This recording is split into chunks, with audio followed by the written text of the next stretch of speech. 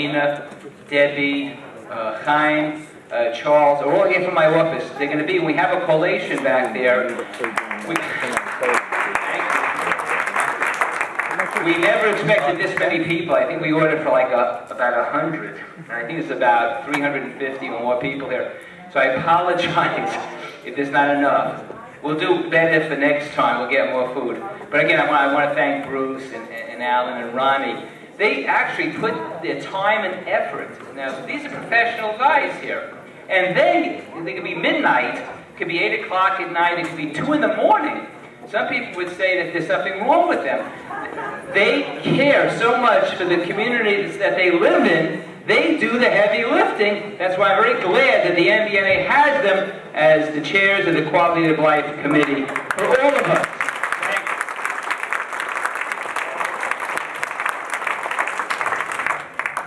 The other two issues I just want to briefly touch upon is uh, one is pertaining to parks. Uh, hopefully everyone has noticed this uh, beautiful Oriental Boulevard um, beautification project. Uh, that project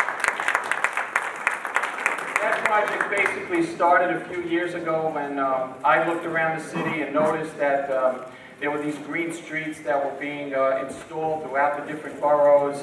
In Brooklyn, they have them along uh, Avenue U, they have them along Seaview Avenue. And I was part of the Quality of Life Committee at the time. I approached the president of the community group, Marilyn, and you know, together within our group, Marilyn then went to Councilman Nelson and Borough President Markowitz was able to secure the funding. And not only do, and we have this beautiful um, reconstruction now, a beautification project, and I'd like to publicly thank uh, Councilman Nelson. What we'd like to do, though, is from my understanding, uh, with the funding, there was a certain amount of funding in place for maintenance, I believe two to three years uh, to maintain it. So we want to make sure that this is uh, maintained indefinitely and you know make sure that funds are, are always available uh, to keep it looking really nice and water trucks and, and whatever has to be done.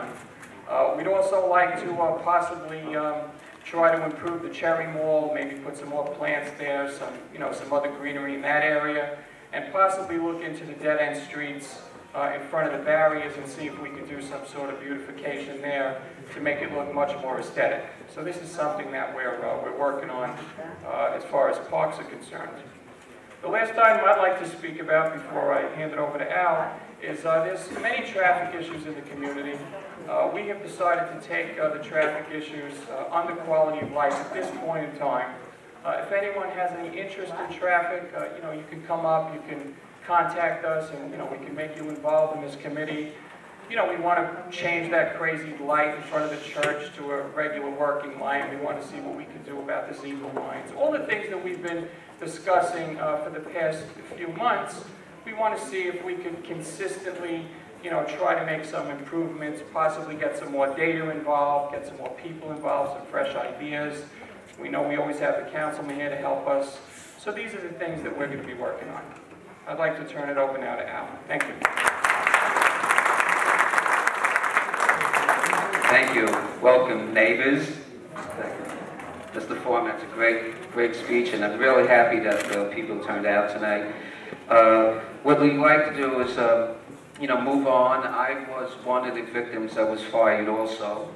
So uh, we'd like to keep the group, and just to, uh, some people did say that the Quality of Life group was defunct. And it never did stop. Uh, Ron, Ron and I and Bruce and all our other volunteers were continuously working. And we hope everyone will join in.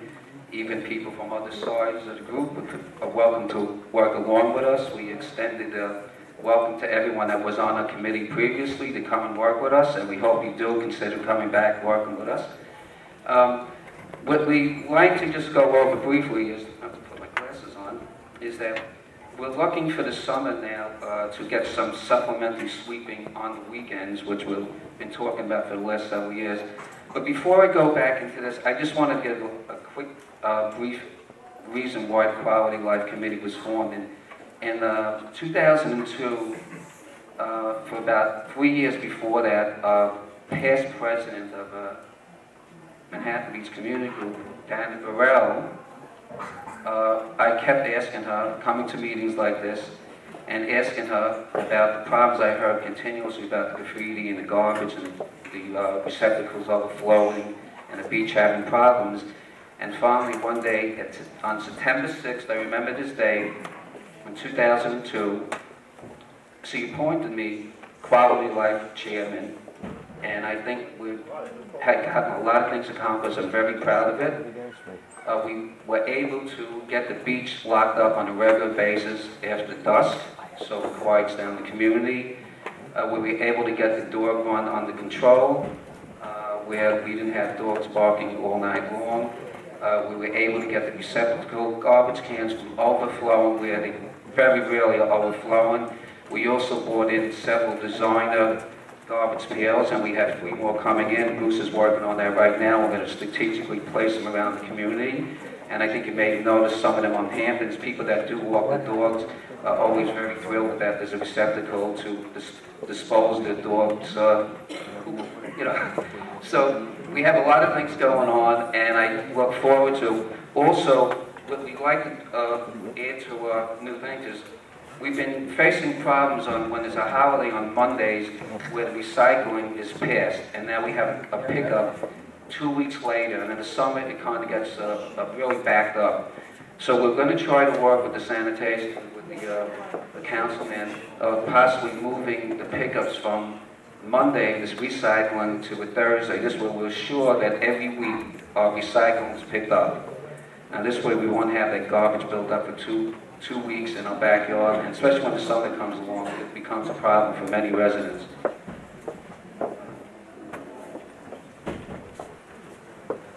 We're also looking to uh, add to our program, there's fire hydrants around the community, and there's fire boxes and the Verizon boxes where you may see overgrown grass during the summer where it's not maintained and have that being trimmed back so it looks clean and we can keep the community uh, in a real manicured uh, position. So just like we're keeping our lawns, we'd like to keep the areas that are not being attended to, uh, have that put into our local programs.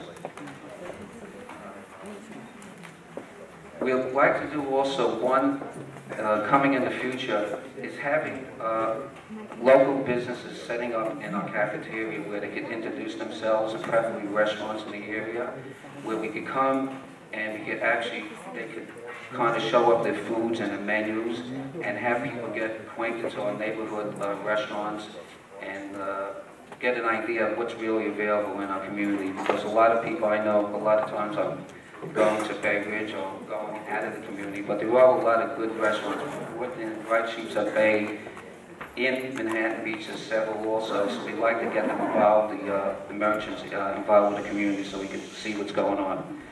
Another thing on the quality life thing that we're going to do is the last point, that we'd like to try to get a fitness program fit up. We'd like to try to keep our neighbors fit. And I know sometimes I have to be called by one of my neighbors to get me into the gym or try to take a walk. Eugene uh, invites me on a bike ride. The last time I took a bike ride with him, I was laid up for six months with my back whether enough, going over the Marine Park Bridge with him. Uh, he's in a lot better shape than I am. Uh, but we like to have a program developed where we have um, trainers come down and actually take advantage of our beach, maybe have uh, some programs done on the beach early in the morning, and uh, you know, and possibly when the winter months come, if that really test pilot goes good, have uh, uh, Billy help us out with the use of Kingsborough as maybe one of the facilities that we could continue through the winter. So these are programs that we're looking to uh, go forward with.